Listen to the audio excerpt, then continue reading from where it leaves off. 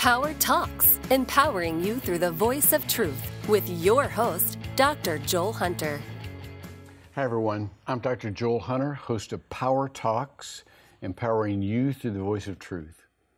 On today's program, Gary Tester, who's the Executive Director of Catholic Charities, and Donna Walsh, who's the Health Officer with Seminole County Health Department, are here to educate us about the opioid epidemic. That's easy enough for me to say, and what we can do about it. so thanks for coming. These are two good friends of mine. We're, we we are colleagues and we work closely together. Um, and this response to the opioid epidemic is just unfolding because we don't really have a grand architecture yet. We're trying to figure all this out. Mm-hmm. Uh, but Gary, I want to go to you first because this isn't your first rodeo on this. No, uh, you were a key player um, in the state of Ohio in addressing some of the early stages of this mm-hmm. epidemic. Uh, can you tell us kind of what those components were? What are the main components that need to be addressed as a community tries to respond to this pervasive a problem? Well, Joel, first of all, thank you for the opportunity to sit with you and talk about it. I think realistically speaking, you emphasize the key word it's community. Mm-hmm. Uh, the natural tendency is to assume that um, hospitals have a re- uh, responsibility for this because it's healthcare. Police departments have a responsibility for it because it's law enforcement oriented. And the reality is that all facets of a community are impacted mm-hmm. when it's opioids or, frankly, any other substance that comes into play. And so I had the privilege uh, for five years of leading a community anti drug coalition up in Toledo, Ohio, mm. uh, called Toledo Lucas County Cares, that brought together all facets of the community to talk about the overall problem and then to create strategies within each sector of the community that interfaced with the other. Mm. So we had strategies that we used in the schools, but the schools interfaced with the public media markets to talk about things that needed to be emphasized. We connected with law enforcement, we connected with healthcare, um, many of the corporate partners, just to come together to talk about a community oriented approach. Um, and then underlying all of it is the fact that we have to have a champion. We have to have somebody that says this needs to come together. We, the human tendency, I think, is to silo, right. and that's just right. the wrong thing to do right now. Right, right. well, I, I, I, love that approach, and I love you're pointing out that for every um, effort, there needs to be a designated leader who has a passion about uh, the particular issue.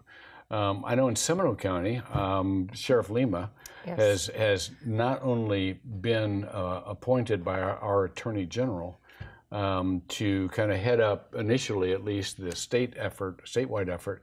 Uh, but he really does have a passion about this. Yes, he does. Um, and so we too are part of the a county effort, not just a regional effort, mm-hmm. but a mm-hmm. county effort. Mm-hmm. Um, tell us just from a from a county health office, uh, what, how you look at this, how, how you approach this from a county health perspective. Sure, sure. Well, if you if you look back at um, in 2017, uh, our governor at the time issued a declaration of a statewide public health emergency, and this was shortly after the Centers for Disease Control mm. issued mm-hmm. an emergency, a public health emergency, because um, as Gary mentioned, this this does just doesn't touch one section of our community. This touches everybody, mm-hmm. and so um, and then you know, of course, our president's also issued a declaration as well. There's a crisis here. It's it's not just about the drug overdose. It's not just about the deaths due to the drug overdose, but it's about the unborn child, the mm. neonatal mm. abstinence syndrome. It's the mother mm. that uses drugs during pregnancy. Mm. Um, it's families that are broken apart mm-hmm. because you know parent or parents may be um, users, and then the children end up in foster care. Mm. You know, so we work very closely with the Department of Children and Families as well as the the Florida Department of Law Enforcement and many others. Um, as as Seminole County saw the numbers climbing in 2016 um, with 62 deaths related to opioid overdose at that time to 83 deaths in 2017 and 82 last year. Um, we formed, along with the sheriff's department or sheriff's office, an opioid task force. Mm-hmm. It was mm-hmm. the opioid and heroin task force in the summer of 2017. Mm-hmm. Um, and we have invited over 100 partners to the table. Mm-hmm. Um, we had our, our meetings about every other month. To, we brought in subject matter experts to talk to us to frame the issue in our community so that we could become educated on how to better approach Yeah. um, all of the facets involved, as you mentioned. And so, um, Sheriff, you know, has a vision of of moving things uh, quicker at this point, you know, because we're seeing the numbers continue Yeah, to rise, and so we we have to come up with strategies that are effective sooner than later. And what are the? There's two directions I want to go here. One, one are the contiguous um, problems that we're see ari- arising concurrent with the with the opioid crisis. You mentioned hepatitis A, A, yes. um, is on the rise, Correct. and they're related in that same population. Um, um, but um, also, um, oh, I forgot my second one. This, this is terrible. Uh, what are the um, what are the, the the the partners that you bring in Sure. to talk about? I mean, what are the sectors that you bring in uh, Sure, from a county sure. perspective to really talk about this issue? Um, they're from all over. So you have your your government sectors, um, you have your nonprofits, uh, medical community. The hospitals have been very supportive. Um, every hospital system, not only in our county but in the Central Florida area, are are uh, coming together to come up with solutions. Um, I know that uh, Dr. Todd Husty, our medical director for the county, and I chair a medical committee Yeah. um, with this council, which is now the Opioid Council. Yeah. Um, it's no longer the, the task force, but the Opioid Council. Um, we have four different committees, and each of those committees are made up of community partners with interest in those areas. So, prevention being one of those, public safety and criminal justice being another. And um, treatment and recovery, another. So we we also work with addiction and recovery agencies, Yeah. um, with faith-based organizations, Yeah. uh, non-governmental organizations. So many partners at the table. Let me let me take off on that, Gary. You you um, could speak to this. You lead Catholic Charities in our area, which is a really significant um, positive impact uh, on our region. Um, what? Why is the faith-based component an important um, partner in this effort? From my perspective, um, both professionally and personally, the reason it's so important is it's the common place where people gather. So, regardless of your particular faith practice, the reality is is that many of us on on weekends, this is where we gather, and this is where we gather strength individually. This is where we gather strength as families. So, it's an excellent opportunity to provide very basic information uh, regarding. Um, opioids in this case. Um, uh, I remember back in the day when you mentioned the maternal program, um, I was on an advisory board that created um, one of the first crack baby. Um, neonatal units um, in the United States, um, and and we had it in Toledo, Ohio, at, at St. Vincent um, Medical Center. It's just a way that we pull things together, and I think the reason that the faith-based community is so important is regardless of faith, the practice, what we talk about is family. And mm-hmm. one of the keys here is how do families respond to this crisis? If you're a family that's not impacted currently, God bless you, Yeah. and keep doing all the things you do and, and be ready. If you're a family that is impacted, seek support. And again, the logical place for support, probably not your employer, although your employer may be more than willing to help. You're not going to come and say, hey, I've got this issue.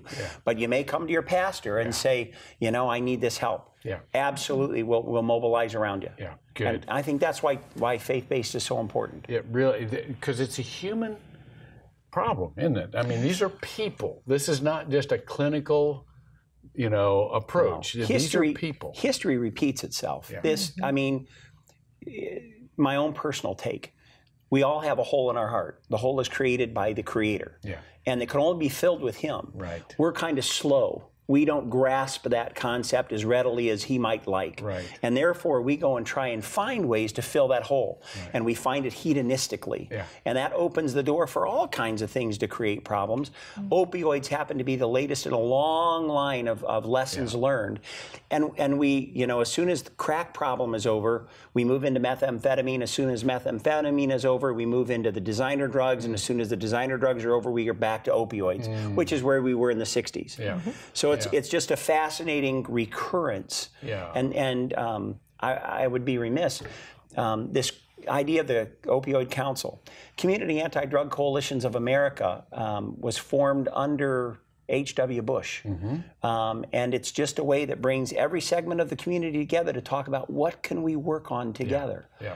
Um, And faith-based has to be a part of that. Yeah, we're, we're going to put that uh, website also uh, on the screen, but you're exactly right.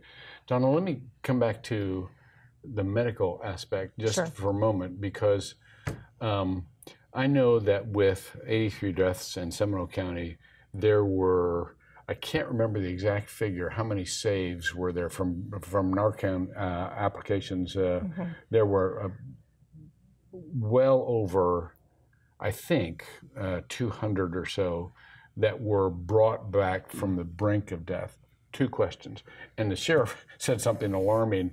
Um, the best predictor of dying from an overdose is getting saved from an overdose. Right.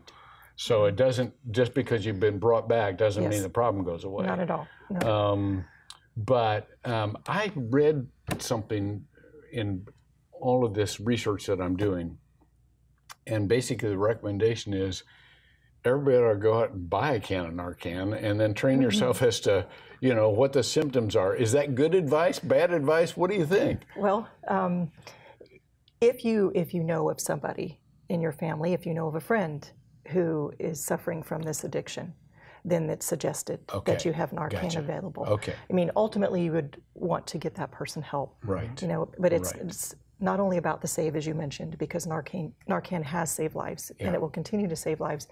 But that doesn't stop the addiction. Yeah. And so there's so many factors involved in somebody becoming addicted to a drug, and, and you mentioned several. Um, but behavioral health, having the, the mental health services around the treatment, the medical treatment, um, is so important so that that person doesn't relapse back into that same situation. So to answer your question, it, is suggested that Narcan, you have Narcan, and, and you can get this from your local um, pharmac- pharmacy. Anybody can go into a drugstore and, and buy some. Okay. Correct.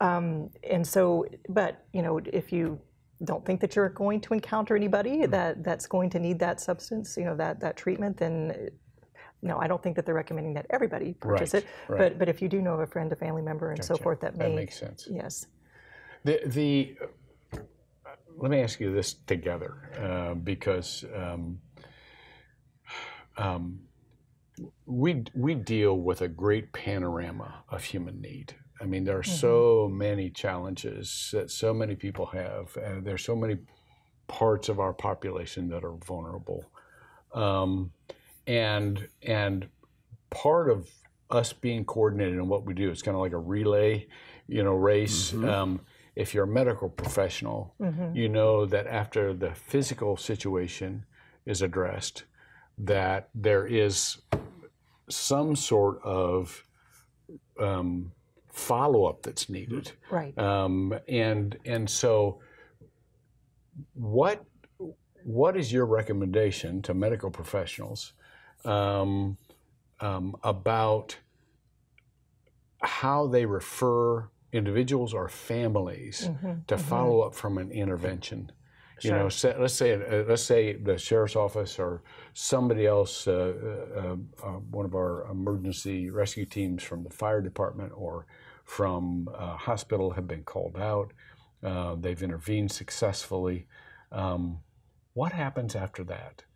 Um, and and how can we be sure that the person then isn't left in the same situation that they at least have encouragement to take the next step toward healing? Well, we just had our medical committee subcommittee meeting recently, and that was a topic of conversation around the table. You know, what are we doing currently, and what should we be doing? Um, I know that Dr. Husty shared a model from South Florida where a a hospital system was the lead in, in that community um, to to help with all aspects of healing. You know, um, as you mentioned, not only the physical healing, but the the mental, the family counseling, and so forth. Um, we are looking to duplicate something like that here in Seminole County, but there's many steps to take to get there. As I mentioned, the hospital systems are very interested and supportive. We just need to figure out the details. Yeah.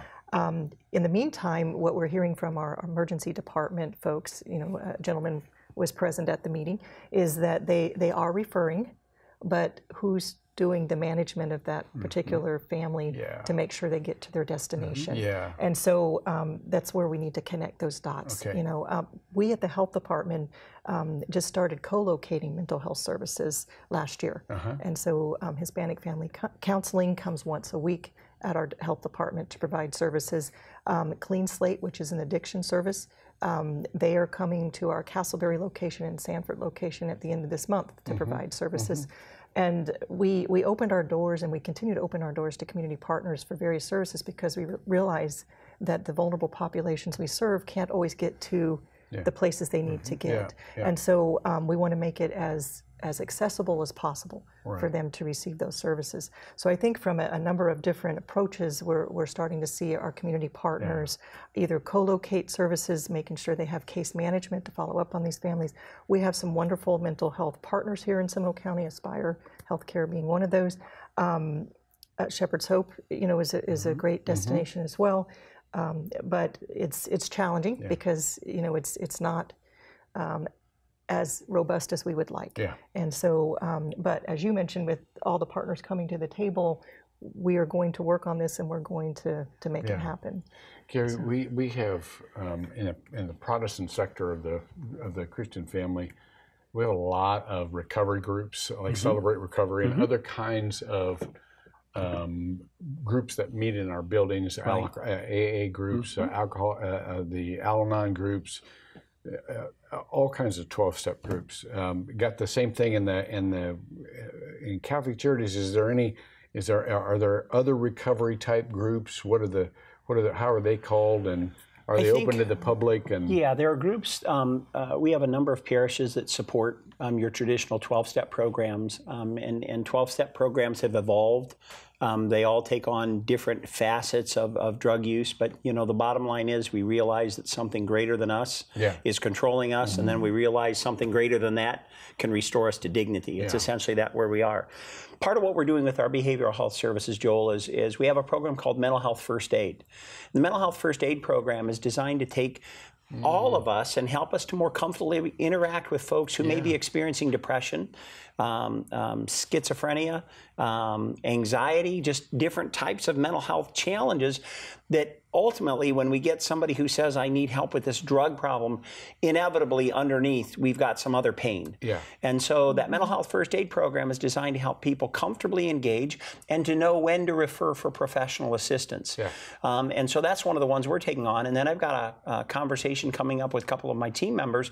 We're talking about what can we do more specifically to engage in both behavioral health education and behavioral health services to support individuals and families who are struggling with, with opioids. Let me well let me let's stay there for a minute. Let's camp out on that because Okay.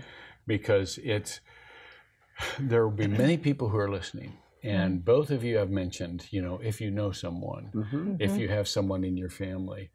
Um, and I know that most people are petrified to, to address this with people, people they know because they don't want to make it worse. They don't know what to say. You know, how would you instruct them?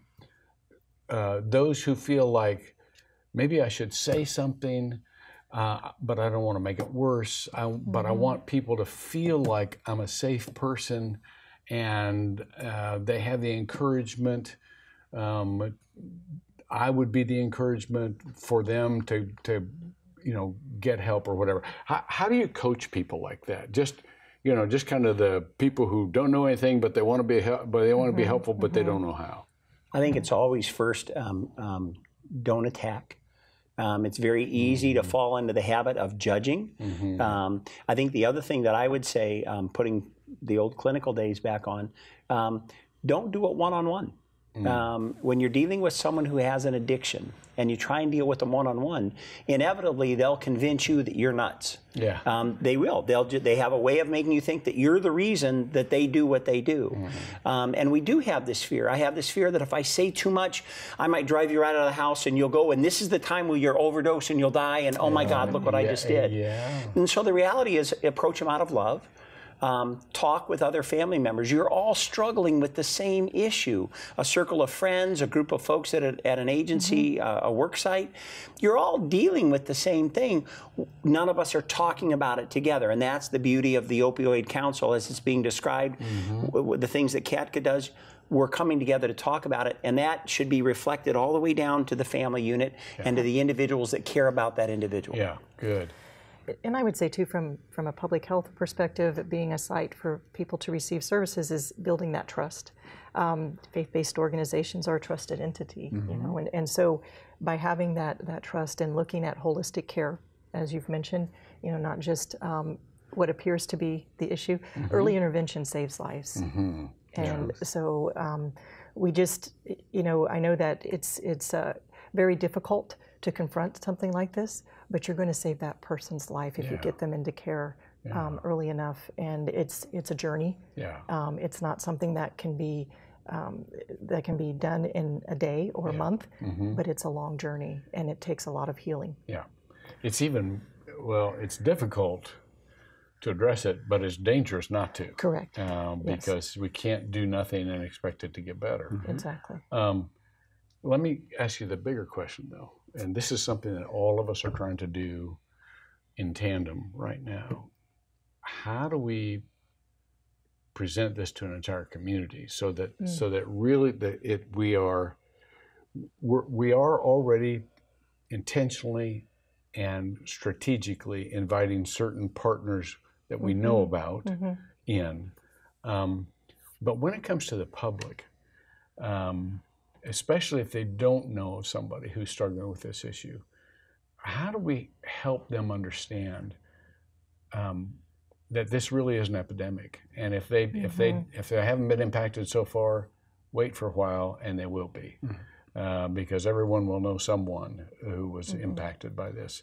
So, what what would be your counsel to those who say, um, I, I, want I want to be a part of this. I want to alert my network. Mm-hmm. I just don't know how to go about it. Well, there, there's a number of campaigns out there, um, Dr. Hunter. The state has come up, Department of Health has come up with a campaign last July called Take Control. Okay. And it's um, a website you can go on to. There's questions and answers for um, pr- medical providers as well as for the general public. So I think the, the approach is to continue to talk about it wherever we are. Great. It doesn't have to be a doctor's office. Yeah. It could be a church. Mm-hmm. It could be, um, you know, when you visit the grocery store. Continue to raise awareness, have a conversation around the issue, right. um, refer people to to credible um, sources mm-hmm. so that mm-hmm. they can get the right information mm-hmm. and um, and continue to encourage them to say something. Yeah. Good. I think when when we talked before, Joel, um, at that meeting with faith-based leaders, I think realistically speaking, prevention um, takes three different forms. There's awareness, there's education, and there's training. Mm what we're talking about here is awareness. We yeah. just want folks to be aware that there's an issue, and, and there are different ways to do that. And it's always about how do we make it personal. Yeah. Um, when when I was in in uh, working as a clinical therapist with kids who had alcohol and drug issues many, many years ago. Um, one of the things we always talk about with young people is an alcoholic can't get help until they hit bottom. We used to trip the kids so they'd hit bottom faster. and, and that's yeah. one of the things we talk about yeah. nowadays. It's like we have to be sensitive to the issues that are out there. And it's if we can talk about what it does in schools, you know what it does um, uh, in the grocery store, right. you know things that just everyday life right. that makes it more real. It's not meant to terrify or scare. Right. It's meant to be a practical approach to it. It really is all around us. Um, and and the more aware of that become, we become, and the more capable we become of saying, you know, that bothers me. Mm-hmm. I'm concerned about that. I'm concerned about my neighbor, but I the, when we do talk about it, we make progress, just yeah. as she indicated. Yeah. Mm-hmm. And, and part of a huge challenge together, and this has been said at practically every minute, meeting I've been to, is to destigmatize this. Mm-hmm. Absolutely. Um, we're, uh, you know, I can say as a, as a faith leader, uh, we're some of the we- the worst because we, we we always think everything in terms of right or wrong or good or bad and mm-hmm. and and uh, but there there are, um, uh, this is a chronic medical condition. Mm-hmm. Um, it does involve choice, and it, involves some poor choices. but that doesn't uh, that doesn't stigmatize the individuals, right. um, saying they're different than any of the rest of us. A, a lot, especially with this epidemic, mm-hmm. uh, many of them um, became hooked because they were prescribed from trusted physicians mm-hmm. appropriate treatment for a legitimate injury or sickness, um, sure. and and and and so um, I think Gary, your words. Uh, first of all, don't attack. Um, mm-hmm. Don't judge, condemn. This is not the business we're in. That's not helpful. Um, um, so uh, we get like two minutes left here. I can't believe this is going so fast. Um, so what, what do you see for the future? I, I feel very fortunate living in Central Florida. Yes. We've got a great community here. We do. Um, and so, um, what are your hopes for the future, um, just in the next two years? Well, certainly we want to see a, a decline in the number of opioid opioid related deaths, not just opioids, any any drug related mm-hmm, deaths, mm-hmm. because you know in some of our counties throughout the state, meth meth may be the issue instead mm-hmm. of you know opioids. Yeah. So um, certainly a decline in that. And if we could develop um, a treatment center that would that would house and, and, welcome everyone who needs that help. Gotcha. Um, so increasing our resources to address the, the problem gotcha. and to get everybody to a healthy place. You know, yeah. that's that's always our goal in public health is yeah. you know addressing all all aspects of health and families, individuals, and so forth, getting yeah. them to a healthy place so they don't feel the need to go to something like Good. this. Anything to add, Gabe? Yeah, I, I think that's um, great suggestions, and I think all I would point out along those lines is it's really important that we understand we need to break ourselves of the habit of starting up and responding to a crisis and as soon as that drug goes away mm. we're okay yeah. yeah. we're, we're not you know th- there's great research out that shows that families that eat a meal together at least once a week are families that develop internal resiliency to alcohol and drug use. Yeah. It's it's scientific research, but we only talk about it when we're in the midst of a crisis. That, that should be constant messaging from all of us. You sure. betcha, and it makes life a whole lot better whether it, a crisis it, or not. It really does. No. Well, we are out of time, but I want to thank you uh, and our panelists, Gary Tester and Donna Walsh, for joining us on Power Talks. Remember, these discussions are just that discussions among us, but We'd love to see you continue the discussions at home or go one step further. Get involved because when power talks, you're empowered through the voice of truth. See you next time. You just watched Power Talks, a Good Life 45 original production that makes you part of our Hope team here on Good Life 45, where hope happens.